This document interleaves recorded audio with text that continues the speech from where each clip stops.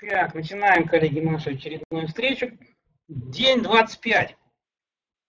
Коллеги, начали мы, начали мы в декабре. Вот, я помню, когда в декабре мы, в начале декабря начинали, даже был шанс, что если мы плотно бы шли каждый день, приветствуем всех, приветствую, Александр, вот, но если бы шли каждый день, то, может быть, даже до Нового года бы закончили. Но так как там был большой перерыв, там больше недели в декабре, потом был перерыв еще, потом еще, и сейчас вообще вот у меня немножко плотно получилось, вот получилось 4 дня перерыв, потому что 2 дня выходные, 2 дня, вот понедельник, вторник я там плотненько пришлось поработать вообще. Так, коллеги, Поздравляем, что мы все еще двигаемся, что еще мы все не пропали. Да и дал ссылки. Вот, если надо, коллеги.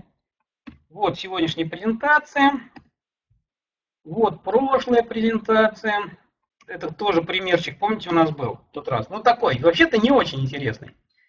Вот. Сегодня будет поинтереснее, коллеги, потому что сегодня Людмила прислала, ну не сегодня, или да, сегодня утром я получил вот, прислала чуть раньше, но я там два дня вообще был настолько отключен, что даже почту не смотрел. Прислала э, ту самую ОП, которую мы уже смотрели.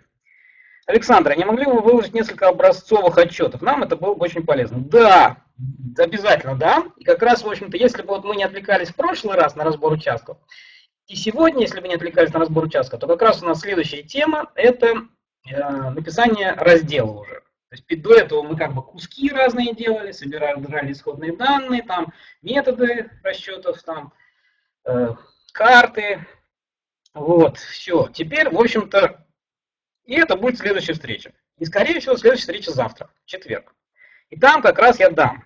И теоретически вроде бы считается, что я делал много отчетов, но вроде бы они все в собственности заказчика. Поэтому вроде бы, вроде бы чего-то я дать и не могу. Вот, но я дам. Я дам вам обязательно один полный отчет. Ну, не полный, ну, в общем, дам кусок. У меня есть один отчет, который у меня не оплачен. Поэтому он у меня получился как бы в моей собственности. Вот. Другое дело, что теперь проблема с тем, что такое образцовый отчет. Наверное, нет образца. Нет образцового отчета. Образцовый, и сейчас мы вообще об отчетах не будем говорить, сейчас мы будем говорить в основном о разделе по процессам, о разделе. Вот. Какой образцовый раздел? И, в общем-то, этот вопрос мы поднимали, да? Так, Виталия не вижу. Виталий поднимал, или не, по, по крайней мере, обсуждали мы эту проблему. А что вообще такое хороший идеальный отчет?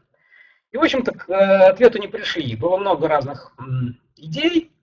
Вот. Ну, на мой взгляд, самый идеальный отчет, как бы, слов мало, а пользы много. То есть не обязательно, чтобы там было много понаписано. Главное, чтобы он хорошенько испугал проектировщика. Главное, чтобы он дал ту самую главное значение, то самое страшное число, которое его э, должно напрячь. Приветствуем, Игорь.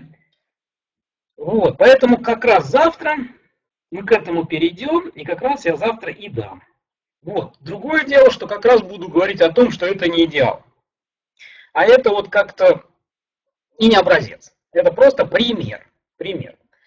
Вот, потому что, коллеги, если я вам дам какой-то вот и скажу, что вот это идеал, это правильно, и вы еще в это поверите, то э, на с Марко вообще мы встречались. Потому что если вы будете попытаться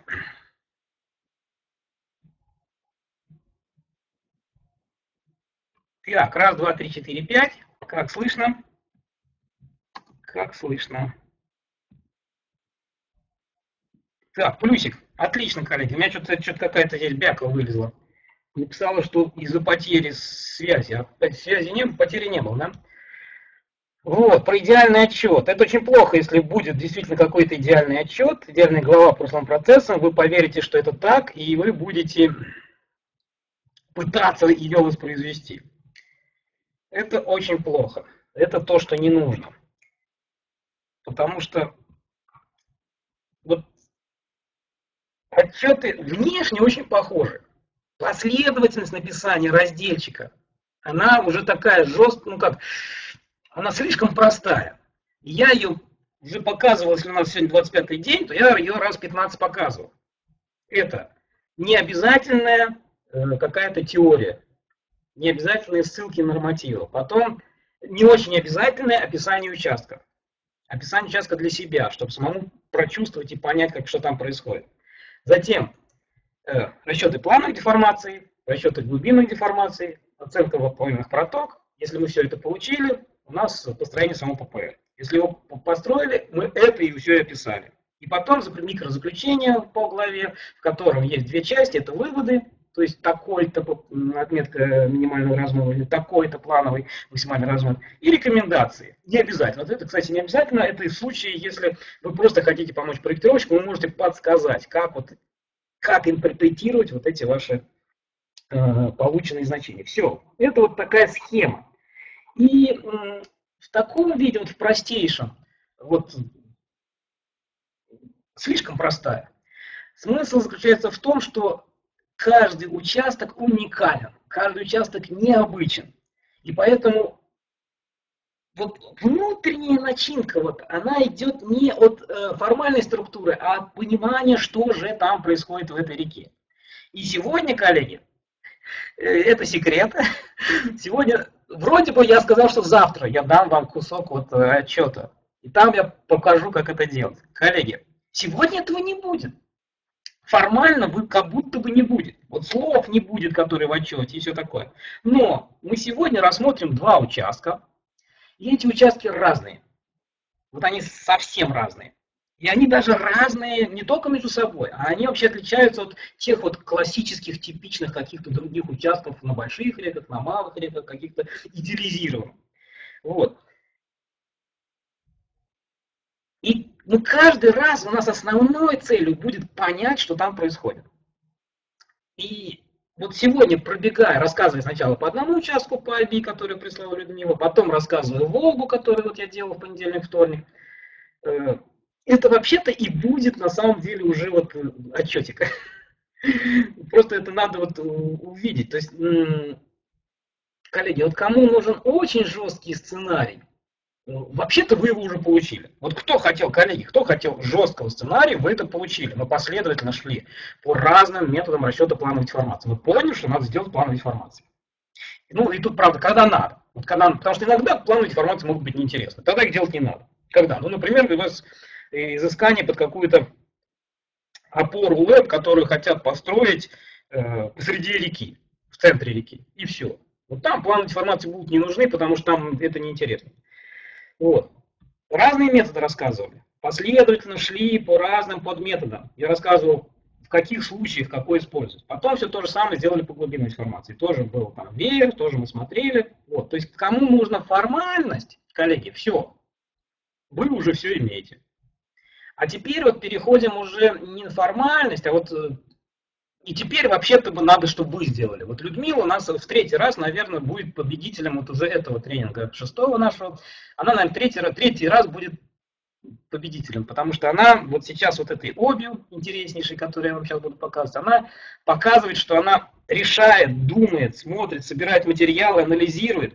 У нее есть предыдущие работы, выполненные другим человеком по этой ну, ППР построенной. Она говорит, вот ППР уже был, а вот я считаю, что здесь вот надо вот так вот построить. Вот. И вот, коллеги, вот это, вот это вот суть, вот это вот понимание, вот это вот, понимание вот этой реки, это вот это самое главное.